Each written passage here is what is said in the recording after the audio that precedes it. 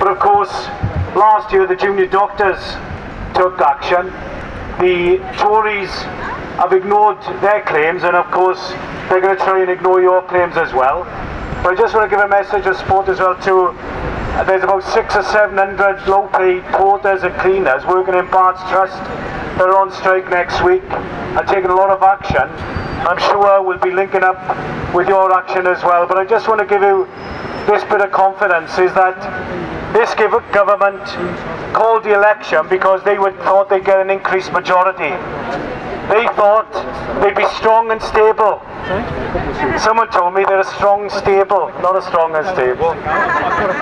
The fact is, this government is weak and wobbly, and I think that you have a real chance of winning and breaking the pay ceiling, which would give confidence to all other people.